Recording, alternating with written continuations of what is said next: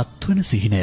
භාග්‍යවතුන් වහන්ස මා දුටුවා මිනිසකු අසුනකට වී සම්පටකින් ලනුවක් අඹරද්දි එම අඹරන ලද ලනුව අසුන යට සිටින හෙවල් දෙහිනුවක් විසින් කා දමනාකාරය මෙහි තේරුම කුමක්ද ස්වාමීනි?